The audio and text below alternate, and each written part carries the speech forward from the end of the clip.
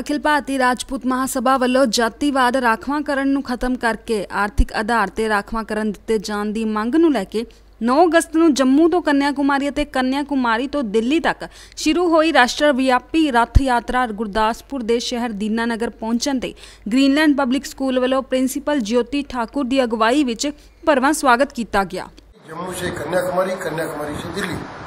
तो हम इस रथ यात्रा के माध्यम से पूरे देश में एक जन राष्ट्रव्यापी आंदोलन चलाना चाहते हैं और उसके माध्यम से केंद्रीय सरकार को मजबूर करना चाहते हैं कि वो देश में ऐसा कानून बनाए जिससे कि जातिगत आरक्षण समाप्त हो और आर्थिक आधार पर गरीब लोगों को आरक्षण दिया जाए, सभी जातियों के गरीब लोगों को आरक्षण दिया जाए, ये हमारी मांग है। अखिल भारतीय क्षत्रिय महासभा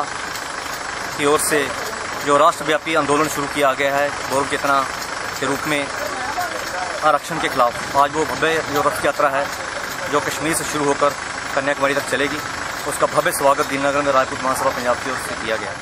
दीनानगर तो दीपक कुमार दी रिपोर्ट, चैनल टू।